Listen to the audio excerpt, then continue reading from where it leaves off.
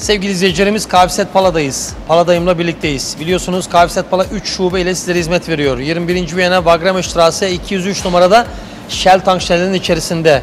10. Viyana Trestestrasse 8A'da yine Shell tankstele içerisinde ve merkezimiz Leberstrasse 118 numara 11. Viyana'da. Yanımızda Paladayım var.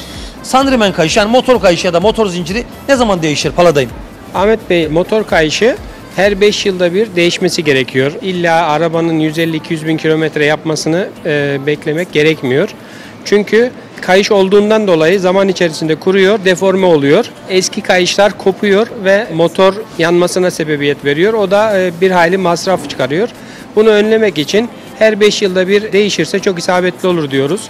Biz Pala ekibi olarak Tanrımen değiştirdiğimiz zaman bilyaları, kayışları, su pompasını bunların hepsini değiştiriyoruz. Bu soruyu çok sık soruyorum size ama vatandaş kaza yaptı. İlk yapacağı şey nedir?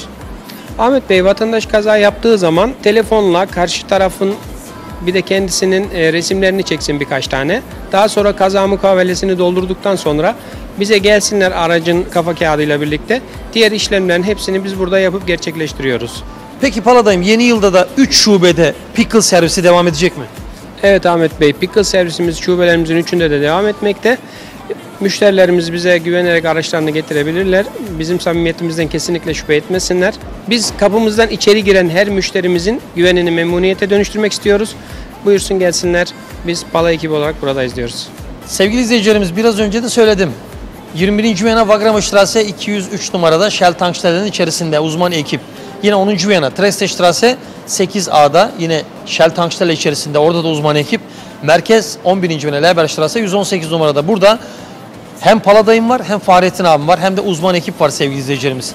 Yani Pala logosunu gördüğünüz hangi şubeye giderseniz gidin profesyonel hizmet var, profesyonel ekip var. Güvenerek gidebilirsiniz. Birliklerimiz tüm hızıyla devam ediyor.